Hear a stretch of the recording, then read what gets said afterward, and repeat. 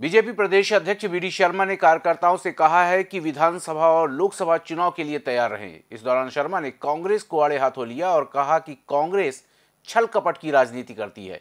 भाजपा प्रदेश अध्यक्ष वीडी शर्मा छतरपुर पहुँचे, जहाँ उन्होंने बीजेपी कार्यकर्ताओं को आगामी त्योहारों की बधाई देते हुए अगले साल होने वाले विधानसभा और फिर लोकसभा चुनाव की तैयारी में लगने को कहा। इस दौरान उन्होंने कांग्रेस पर निशाना साधते हुए कहा कि कांग्रेस छल कपट की राजनीति करती है। इसलिए उसकी यह दशा हुई है। उन्होंने कहा कि कांग्रेस में क्या बुराई है, ये तो उनको ही खोजना पड़ेगा।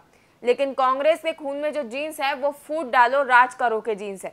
किन किन बातों पर लोगों को भड़काया जा सकता है, ये कांग्रेस के खून में है। और इसी आधार पर वे राजनीति करते हैं। कांग्रेस कांग्रेस के अंदर कौन सी बुराई है, ये तो उनको ही खोजना पड़ेगी। लेकिन कांग्रेस के खून में जीन्स ज़रूर हैं। वो जीन्स से फूट डालो, राज करो।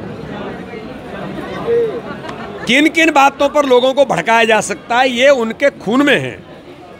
और इसी आधार पर वो राजनीति करते हैं। झूठ, छल, कपट, ये वो जो राजनीति करते हैं, जो ये देश अब स्वीकार नहीं कर सकता, देश ने उनको देख लिया गंभीरता और गहराई के साथ। वहीं बीजेपी के पूर्व विधायक आर डी प्रजापति के ओबीसी महासभा में लगातार उनके खिलाफ बयानबाजी करने पर उन्होंने कहा कि हमारी नैतिक ज़िम्मेदारी है कि इस तरह की विद्वेष फैलाने वाली बातें ना हो। ये सब एक योजनाबद्ध तरीके से किया जाता है और राजनीति चमकाने के लिए लोग ऐसा करते हैं।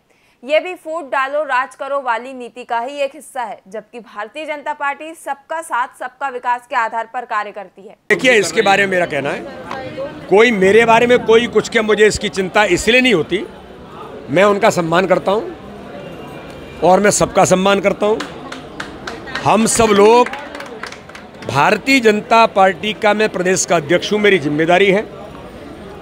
मेरी नैतिक ज़िम्मेदारी है कि मेरे क्षेत्र में इस प्रकार के विद्वेष फैलाने वाले जो लोग हैं, वो इस प्रकार की चीज़ें न हों।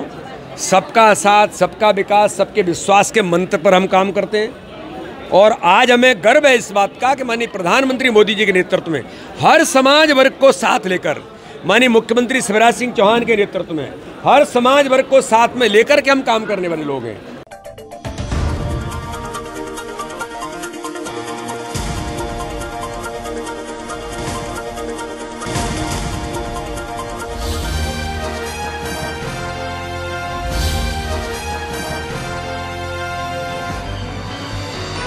आप देख रहे हैं दखल न्यूज़।